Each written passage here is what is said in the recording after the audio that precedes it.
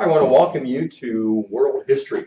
This is a class in which we will not only learn about ancient history in particular, and we'll move on up into um, the modern world, uh, somewhat the modern world as beginning during the Middle Ages. Uh, but it's a class in which we integrate what's going on in the Bible with what's happening, particularly in the ancient world.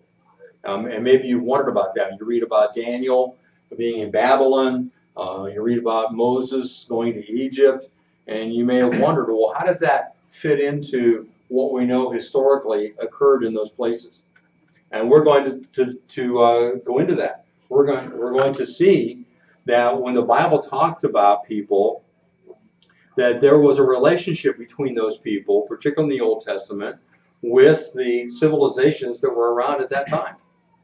And uh, hopefully that will uh, help to improve your understanding of the Bible, uh, your confidence in the Bible as being a reliable historical work, and, uh, and thereby enable you to be able to communicate biblical truth to others with whom you might come in contact.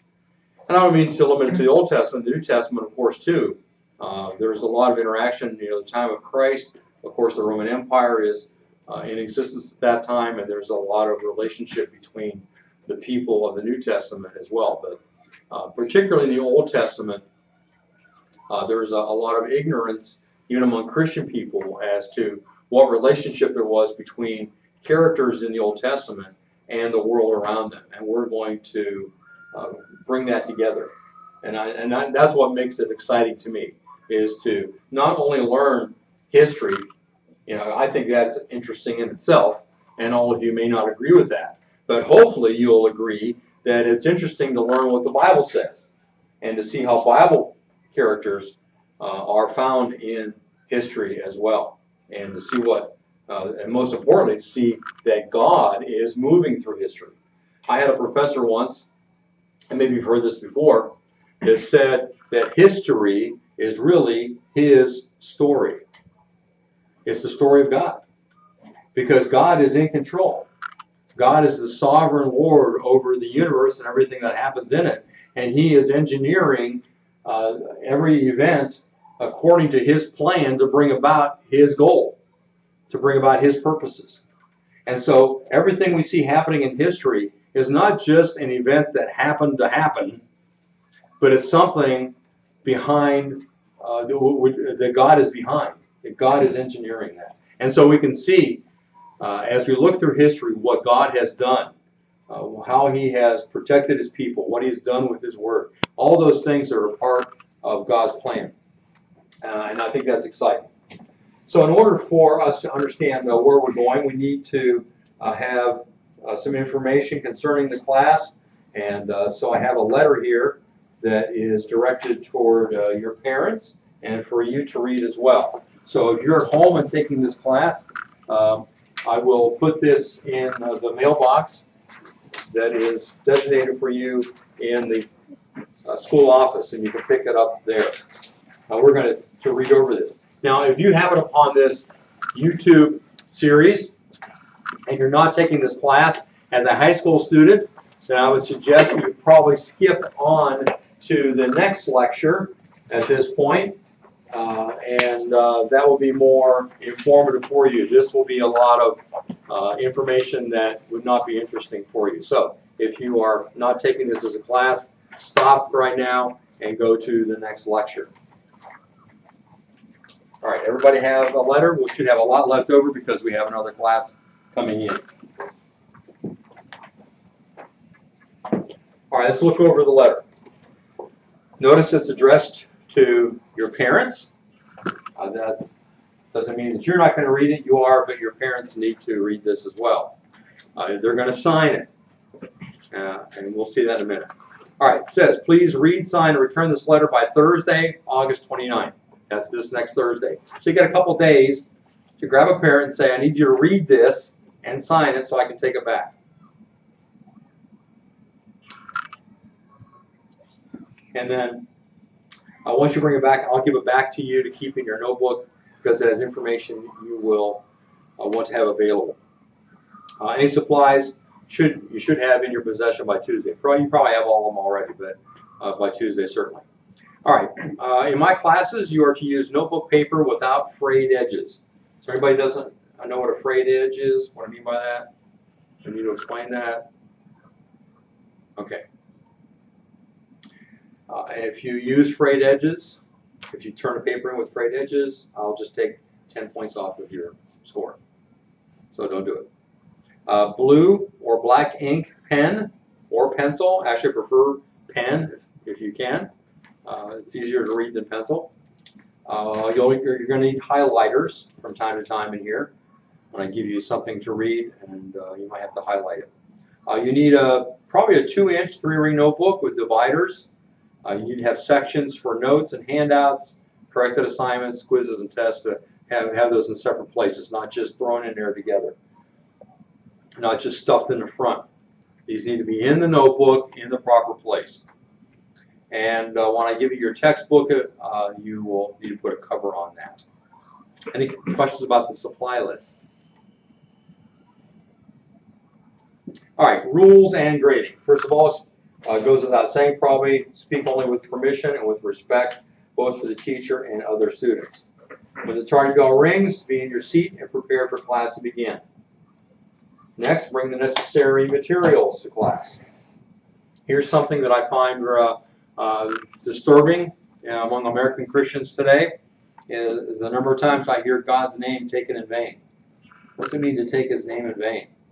It means using God's name in out of context of when you're talking to God or talking about God.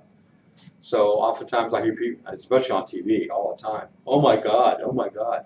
That is blasphemy. That is using God's name in vain. We ought not to do that.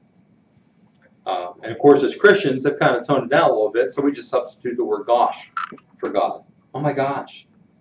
Gosh means God. it's just a vulgarized uh, nickname, if you will, for God. So don't do that.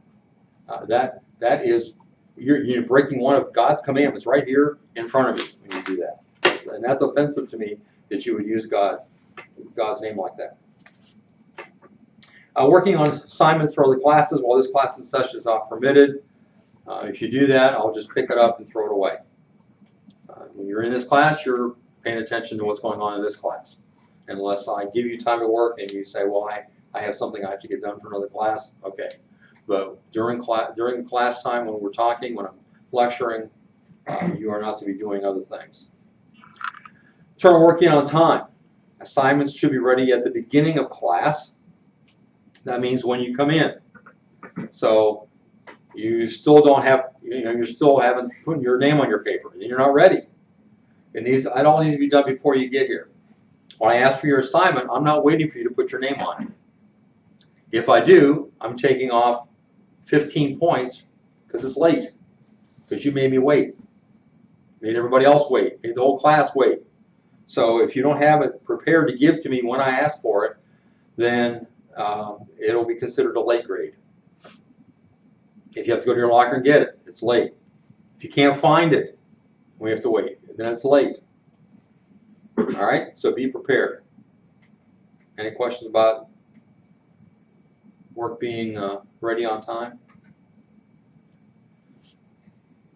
And that includes proper heading as well. I should probably uh, tell you that right now. Uh, I think I have a paper I'll put up later. Uh, I, I, would expect a, a, proper heading to have your name at the top, then the date, then the class. So you can put WH if you want, or world or world history, and then put the whatever the assignment is. Don't just say questions. Don't just say homework. I want to know exactly what it was. Because sometimes I get papers from people, and uh, sometimes people uh, are not here, and they turn them in later, and I don't necessarily, they're not with the other ones, and so what, what is this assignment you're giving me? I don't know. You know, I don't, I don't have a photographic memory to know everything that you write down, where it came from. So make sure you put the page number or whatever it is, okay? Uh, so that should be, I, I like it in the upper right-hand corner. I think um, some teachers maybe use upper left hand. Uh, if you if you are in the habit of using left hand, okay. Uh, but uh, if you uh, don't care, I would like it in the right hand corner. All right, so that's, make sure your, your paper is headed properly. If it's not, I'll take points off. Any question about that?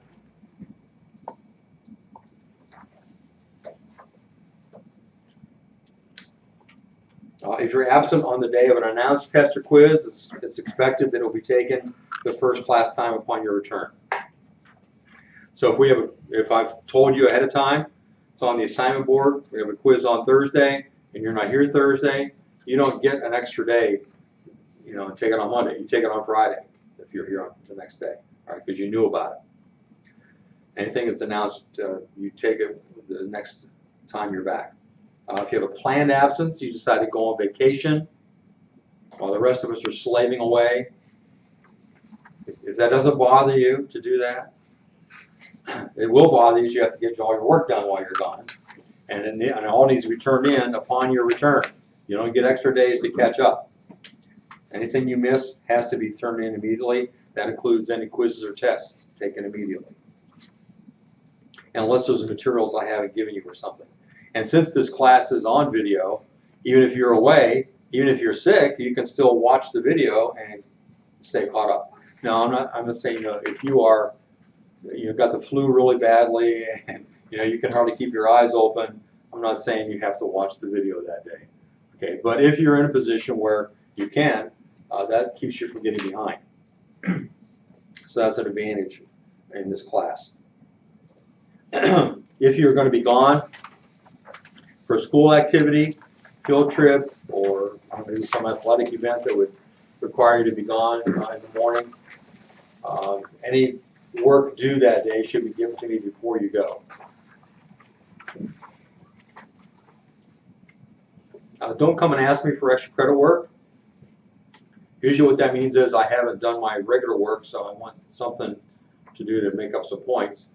but I do give uh, the opportunity for everybody to uh, do this anytime. You can get five points for every half hour uh, of viewing programs on television or YouTube that are of historical significance. So sometimes uh, the History Channel, Discovery Channel, I have some videos on my in my own library. Uh, certainly on YouTube, you can find all kinds of things. Uh, I would, it'd be advisable to ask permission ahead of time whether this would count if you know a program, uh, or if you just, you know, we're studying something and you find a YouTube about what we're studying, that probably would be okay. So if you watch something to get extra credit, you just need to take some notes about what you're learning.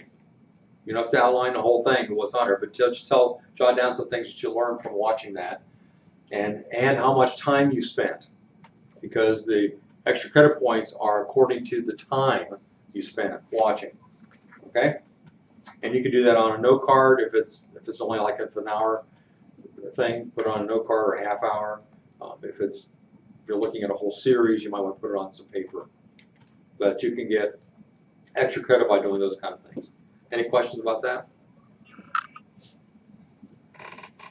All right, grades come primarily from these sources, daily work, quizzes, projects, and tests. some of the daily work you do, some of the homework you do, will be counted as a grade. So out of 100%. You know, through 10 questions, you know, if you miss one, you get a 90%. You know, you know how that goes. Sometimes I'll give you an assignment and I won't take a grade from it. I'll just check to see if you've got it done.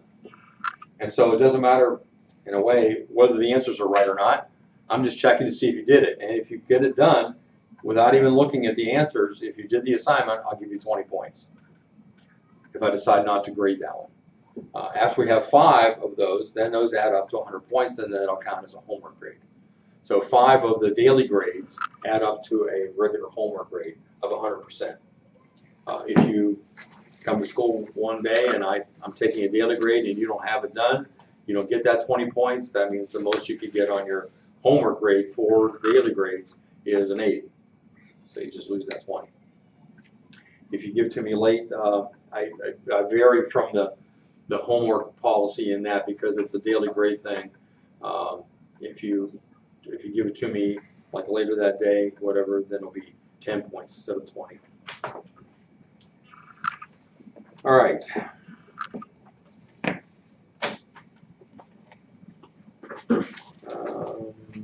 in addition, uh, three lines up from the bottom of that paragraph, pop quizzes, notebook quizzes over information in notebooks may be given for separate grades. Quizzes count as a double grade, tests cover unit study, count as a triple grade. Any questions about grades? All right, world history students are required to complete a reading project each semester. I want you to learn not just in class, I want you to learn outside of class. So you're required to read related books and write a short report on the reading. The grade will come from a satisfactory report from the number of pages read. So you get to pick your grade. Isn't that wonderful? You get to pick what grade you want. How many want 100%? Good, I'm glad all of you want 100%. That's good. Well, all you have to do is read 350 pages in uh, books outside of class related to the topic for the semester. All right, now in order to help you along that way, that, by the way, that counts as a triple grade. In order to help you to not wait until the last minute, because believe it or not, there have been students that haven't read a page until the weekend before and try to read 350 pages in one weekend. Usually, they haven't read it very well. They don't really know what they read. And so in order to help you not to put it off, I am uh, requiring you to keep on a schedule. So approximately one page of uh, telling me what you learned from what you're reading will be due prior to each midterm and quarter. And you will submit that on Google Classroom for a daily grade, daily grade credit. Uh, each report should include in the heading the number of pages read for that report and the total pages read thus far in the semester. So your first report, you might say, I've read 75 pages. Okay, that's up there at the top. The next time, uh, you've read more, uh, and so you will say, well, I read um, se uh, 75 pages this time, slash, but I've got a total of 150, or whatever it is. Okay, so you put that on there each time uh, throughout the semester for each uh, time throughout the semester. Yeah. Uh, first semester project will be due December 13th, so that's when your total number of pages needs to be in for the semester. Second semester is May 20th. Uh, midterm and quarter due dates are given to you there. So your next, the next, the first report you have to give me is September 16th, and uh, you, you should excuse me, you should try to uh, pace out how many pages uh, per report you want in order to equal, if you're shooting for 350, you know, you wanted to, you want to make sure that you are not uh, waiting till the end to get a lot of that. In fact, I will expect that if you're not keeping up, that you're not going to get the 350. All right. Um, uh, I may ask you questions regarding the content of the book. and if you can't give me some answers, then that will indicate to me that you didn't really read it.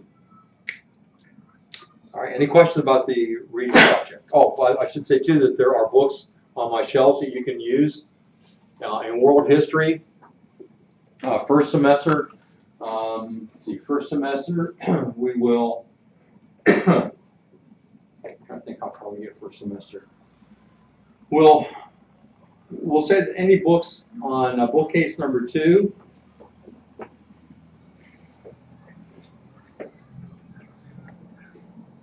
Yeah, let's limit it to two. Bookcase number two would be something that would fit into first semester. That's the beginning of time up through uh, the beginnings of Christianity.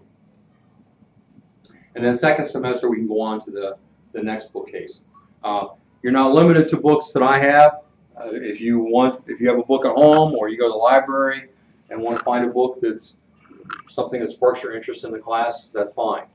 I would suggest that if there's any doubt at all on your mind as to whether the book counts, that you come show it to me.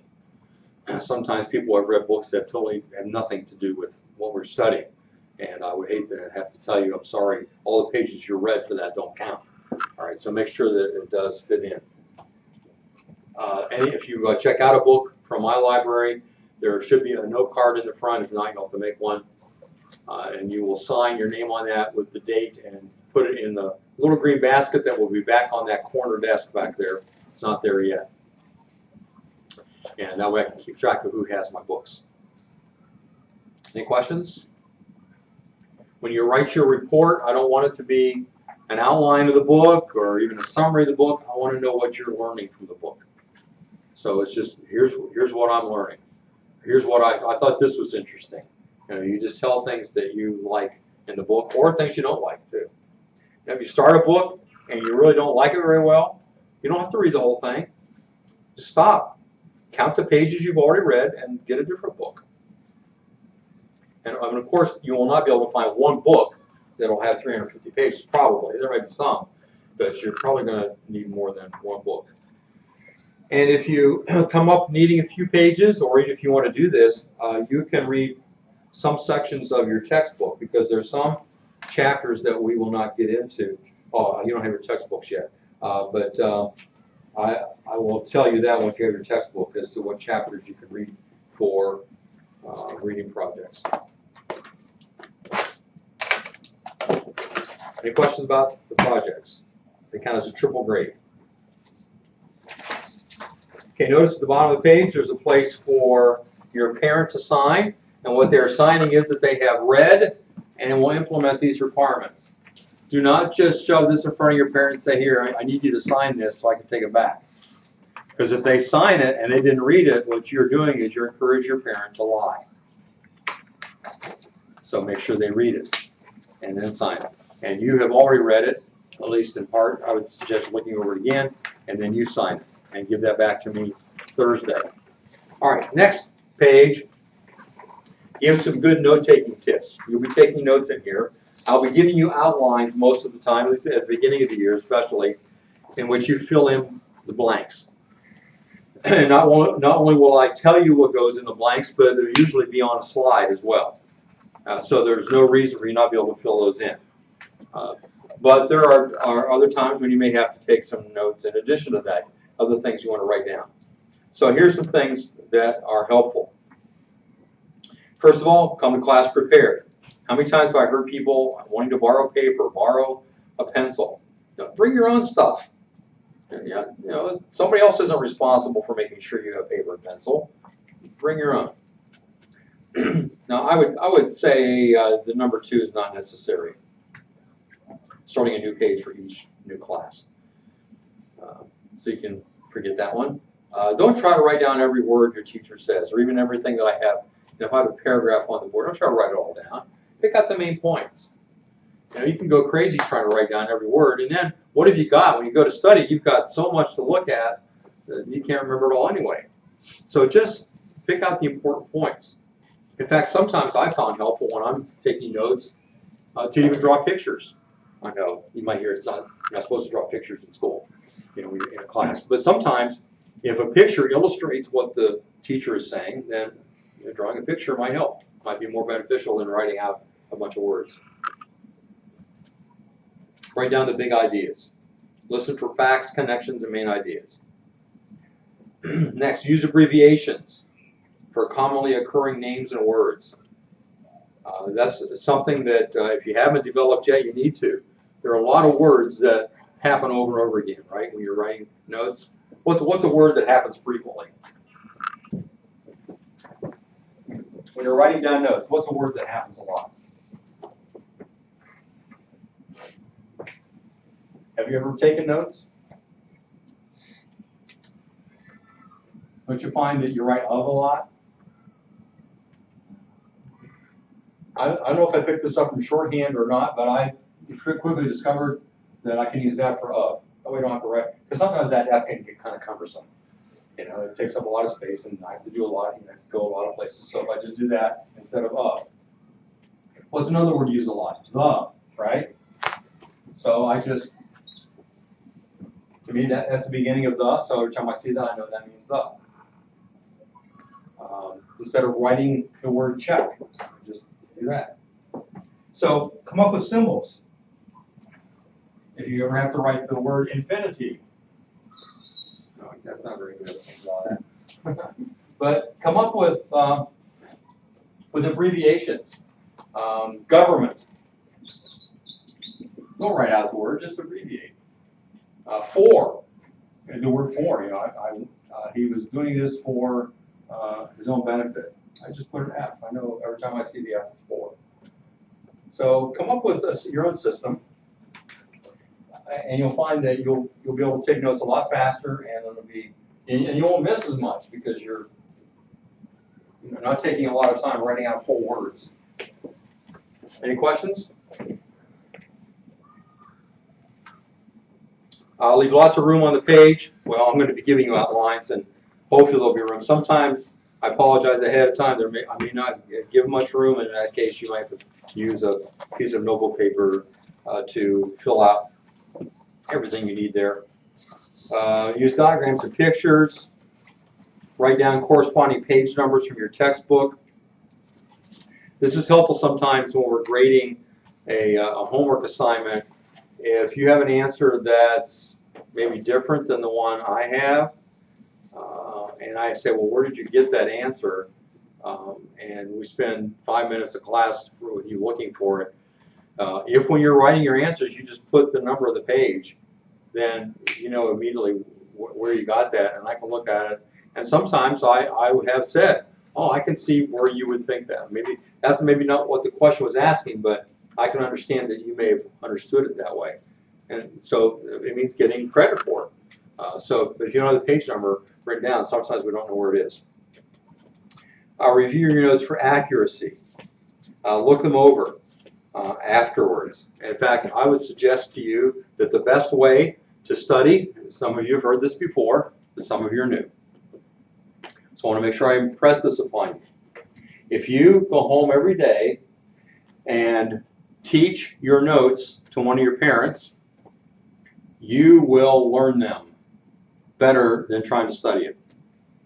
Repeat, and then, and then also help you to see if there's anything in your notes that is maybe not understandable. Maybe you wrote, have you ever written a word down and later you looked at it and thought, I don't have any idea what that word is. Well, if you go home that night and try to teach your parent, you'll know, you'll see it immediately and you call somebody up and say, what, you know, I have this, I don't know what that word is. Uh, but if you wait until the night before the test, you may not be able to get a hold of the person to tell you. And then now you're stuck. Now, now it's further removed. You don't have any idea what it is. So every day, I promise you, if you will go home every day and teach your notes to a parent, you will get much better grades than you would have otherwise, with less effort, with less studying before the test. Many students who have done this have told me they hardly had to study for a test because just by repeating it, they learned it. That's why teachers know so much because they keep saying the same thing over and over again, right? Uh, make sure you get notes from this class. If you miss a class, uh, you have an advantage in here. You can always go to YouTube and watch the class that you missed. And, and you can get your notes from that. Or get them from somebody else. Uh, copy off of their notes. Make sure you do that as soon as possible. All right, do you have any questions about the, uh, the requirements, the rules, and grading? Yeah. I, I, this might not be about the, the requirements, rules and grading, but what's the name of the channel that you post the stuff on? It's on YouTube. Okay. And then you go to HCS Homeschool. Okay. All right, and I, I should have put that in the letter. I didn't think about that. But uh, I'll, uh, if you remind me later, I'll write on the board for you later as well. But if you go to YouTube and, and search for HCS Homeschool, you'll find world history, you'll find U.S. history from last year. You'll find, right now, you'll find world history from last year. Uh, I need to get that off and and we'll put the new ones on. In fact, anybody can watch them. So if you, if you know people that are interested in uh, history or biblical history, you can direct them to that. Okay, any other questions? All right, let's uh, get our textbooks. There are three stacks of world history textbooks there. I'm going to allow you just to go up and grab one. So you may do so now. As soon as you get it, write your name in the inside cover.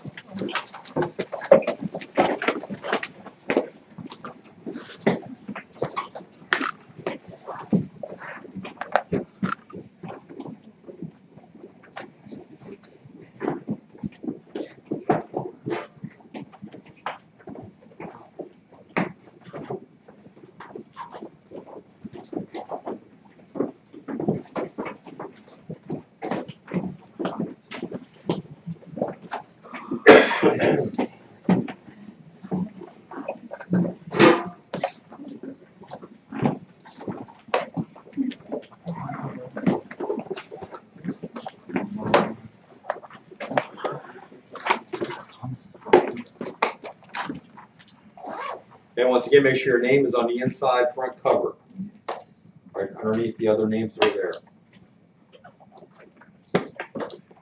And we need to have a cover on this by Tuesday. Okay, having done that, let's open our textbooks to the table of contents.